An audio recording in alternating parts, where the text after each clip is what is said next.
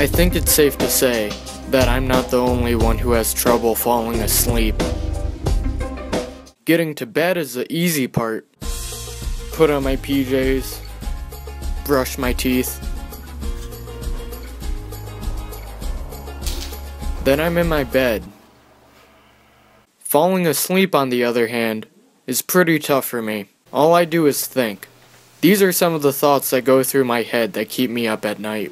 Imagine if I took a bunch of bouncy balls and I put them in a bin and then I pushed them down the stairs. Balls would be flying everywhere. I could really go for a slice of pizza right now. It would be so cool if I had the superpower to turn on that light because then I would turn on that light. I'm gonna put my hood on because I'm from the hood. Let me try laying on this side, maybe that'll get me to sleep. Nope.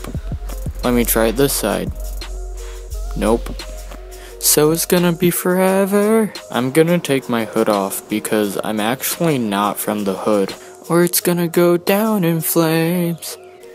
One sheep, two sheep, three sheep, four sheep. This isn't working. Why do people even count sheep? 22. Ooh, ooh. Why don't they count something better? Like potatoes. Shake it off, shake it off, a hoo hoo. One potato, two potato, three potato, four potato. This still isn't working. It's a love story, baby, just say yes. Maybe if I think about something really boring and tiring, I'll get to sleep. Here's an idea math.